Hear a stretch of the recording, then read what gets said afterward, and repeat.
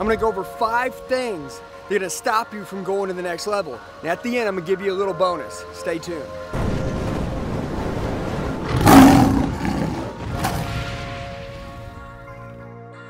All right, guys, check this out. So, this is gonna be five things that most salespeople undervalue. Now, when I say this to you, imagine this. Let's say you had $10,000 to invest and you went in to invest this 10,000, 100,000, a million, whatever, a thousand for some of you. It doesn't matter. But you had this money you want to invest and you walked in to go deal with someone that you wanted to be a guide on how to invest your money. So you walk into a building and there's a guy that's got a building that says investor. When you go to sit down to invest your hard-earned money, this person doesn't look like he should play the part as actually helping you investing your money. What would you do?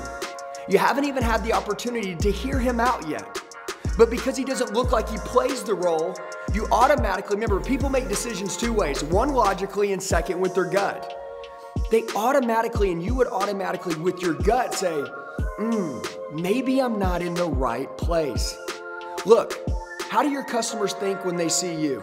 Now, I'm not telling you that you have to go dress like you're on Wall Street. That's not what I'm saying. But I think that right now you can look in the mirror and there's five things I bet that you're undervaluing right now. At the end of this video, I'm gonna give you something special. I'm gonna hook you up with something. But I want you to stay with me and I want you to pay attention. If you really be, wanna become one of the top one percenters, one of the best high achievers, you wanna be an expert and a guide to your customers before you even get the chance to say hello.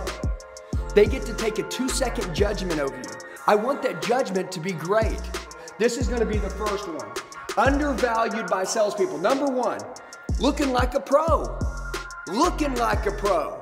This is probably one of the biggest deals. Before you can ever say hello, before you get to act like a pro, they get to see who you are. Do customers judge you when they pull up to the lot? Absolutely. Just like you're judging them when they pull up. Can they buy? How's their credit? Are they upside down in their car? Man, that looks like a car's like six months old that just came out. I wonder if they're trying to trade it in.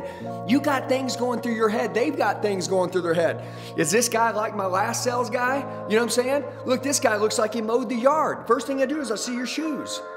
Think about it. You have got to prepare yourself to be battle tested on the front line. So, looking like a pro, we're gonna talk about that before we get into acting like a pro. I'm gonna tell you one of the first things people see is a starch press close. Guys, look, man, when I sold cars, I was always in a suit all the time. It was very rare that I wore a polo. I always dressed sharp. Guys, I grew up in Oklahoma. It was 100 degree weather all the time. I was always pressed nice and sharp, nice and clean. So I was sitting there the other day and I'm helping a dealer hire some people. Now, look, when you show up on your first day of work, most people are dressed their nicest they've ever been dressed. And then by three weeks, what happens is they start to fall apart and revert back to like the laziest dress code you've ever seen. Day one, people want to show up either at the interview or the job to impress. So I'm sitting here and I'm with the GM and an owner, and we're hiring some phenomenal people, but some of the people showed up. And I'm not saying that you should have like the highest budget in the world, but go through your closet. Whatever you have, you don't have to have Armani or Gucci. Man, you could have a dollar shirt from the dollar store. Seriously, can you iron it? Can we get a press on it? Can we get an iron? Can you iron your slacks? Look, if you got cargo shorts and I get it, it's the only thing you got. Can you iron them for me? Can you make them look sharp? Can you clean your shoes? Can you make them look sharp? Look, there's some things that you have to do. If you want to really do well and go get in life with what you want, you have to play the part. Look, there's a term that says fake it till you make it. I know you've heard it before. And I'm not telling you to go out and have the Rolex on your hand, fake Rolex to some people, trying to show that you made it. I'm asking you this can you press your clothes, please? From this point forward, if you haven't focused on that, I'm gonna tell you this you're missing out on probably half of your income not pressing and starching your clothes and looking sharp. Number two, we're gonna talk about shining your shoes. Look, when I, the era I grew up in, and I'm 41 years old at the time we're making this video, was this. Every week, we had a shoe shine guy come through, and he'd come through the deal. He'd go, Shoe shine, you know what I'm saying? And dude, everybody knew that that guy, if you didn't take care of your shoes, boy, he'd rag you out, man. I mean, he had like the craziest rag.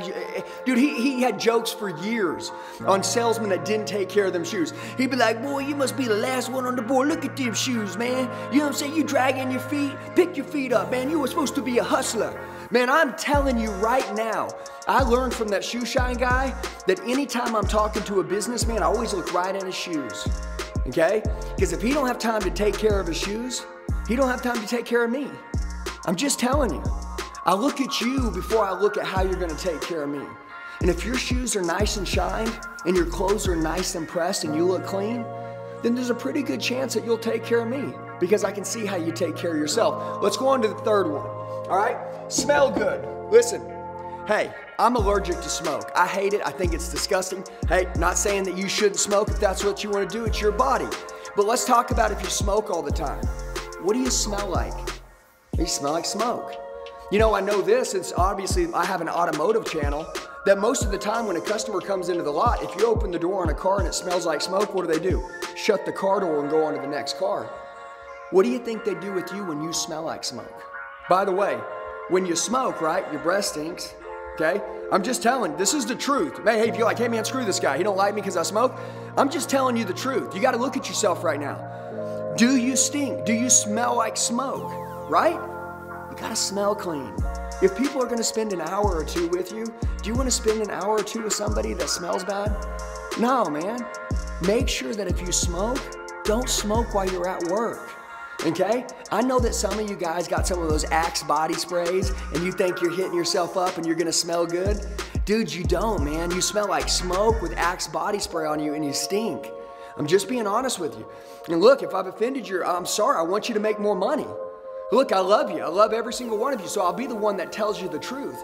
Okay? Sharpen shoes. Dress nice and press clean. Smell good. Let's go to the fourth one. Clean haircut. Guys, can we get a haircut? Can you look sharp? Can we get a haircut, please? This is probably one of the biggest deals out there. I see a lot of people that run way past due on a haircut. Most people need a haircut every single week. Me, I got short hair. I know it sounds crazy, but I get my hair cut every single week. I like to keep it short, I keep it tight, kind of like military style. Here's my goal with you. However your hair is, fix it. Take care of yourself. Make sure that you take care of your hair, put products in it, make it look smooth. Guys, be a person that when somebody walks up to you, like I said, it looks like you're playing at your best version. If you're playing at your best version, then they're thinking that you're gonna give them your best. Does that make sense? Okay, and I hope that this video is helping you as you're looking in the mirror and identifying the person that you want to be. All right, let's go over here. Number five, clean shave. This is a big one, okay? And you say, man, Andy, look at that. You shot a video on clean shave and you're not clean shaved. Well, here's the deal. I've been training all week long, every day, nice and slick. Every day I've been in a suit, every single day. I'm here in my conference room, which is my home. I'll be at work and when I fly out and do training, we do master closer seminars here, I'm always nice and tight and shaved. And we are in the beard era. So here's my deal. If you have facial hair, keep it looking tight. Don't have scragglies running all over. Man, if you're gonna have a nice man beard, clean that stuff up, man. Make it look great. If you have a nice groomed beard, man, that's a great thing. That looks awesome. But whenever somebody has a beard that's going out of control and they look like they just woke out of bed and the stuff's going all over the place, it ain't cute. There's nothing cool about it. And your customers can look at you and say, hey man, this guy looks like he's having a rough day. You think I'm gonna take your best advice on a rough day? Absolutely not. So, with that being said, guys, these are the five things that will show you how to look like a pro, dress like a pro. If you just block in these five, you will one up the salespeople all around you. All right, guys, so like I promised you, I said if you made it till the end of the video, I would hook you up with something. This is what I want to do for you. So when I sold, I made over 700 grand a year selling cars. I always time block my day. You would agree, all these things are possible, but you got to make time for them. You'll always make time for what's a priority. So, what I wanted to give you is this I have a, a, a weekly crush it planner that I created and I made for myself when I sold cars.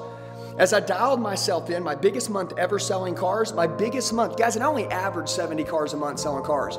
So I wasn't some 200 car guy. I always learned you can deposit money in the bank and not units. So 70 was plenty enough for me, but my biggest month ever selling, I made about 75 grand. That was my biggest month, record for income.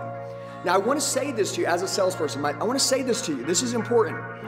I put out a weekly crush it planner where I physically dial out every single thing and how to time block your day to make sure stuff like this doesn't go, get overlooked. Plus, you can do your follow up with your customers, plus, plan your day. The idea of it is, is this people don't plan to fail, they fail to plan. So what happens is as you think that you have a plan in place, if you really don't, well, you're just winging it as you go.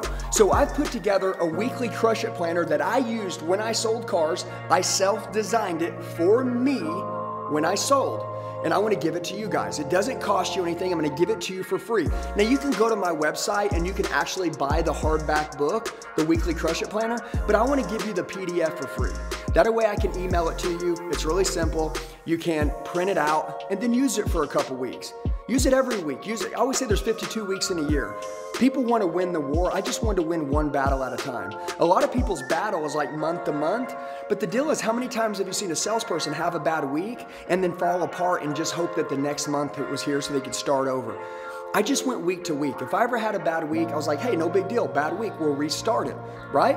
Salespeople have to do that. So I focused on weekly goals, not monthly goals. So I created, and what it's called is the weekly Crush It Planner, okay? And by the way, see this cell phone right here? If you'll text the 918-210-0254, which is my personal cell phone, just text me this. Say, please send me the weekly Crush It planner. That's all I need you to say. Hey, text me your name, say what's up. If I haven't met you, I'd love to meet you, okay? But the idea of it is, I'd love to have a conversation with you. Maybe we'll jump on a phone call. But the idea of it is, is that I want to send you my weekly Crush It planner for free. Doesn't cost you anything. All you have to do is reach out to me. And then in the end, as you're going through and you're planning the rest of your year, 2021, that's the year we're in, how you want to dominate it, each week matters. This weekly Crush It Planner, it's, it's awesome. Once I send it to you, just print it out and you'll go through each one of the sections and you'll realize that I show you how to time block every single minute of your day. And by the way, busy equals broke, productive equals paid. I want you to have the most productive days as possible, plus make sure that you're not undervaluing things that most salespeople are missing. If you want time, you have it. You just have to prioritize it. I think that this will help you. Guys, I love you. Please give me a thumbs up on the video if you enjoyed it. Please shoot me a comment below. And as always, I put out videos each week to help you go to another level so you can see the best version of yourself. And if you ever need anything from me, you can always text me at 918 210 0254. I'm always here to help you. I got your back for life.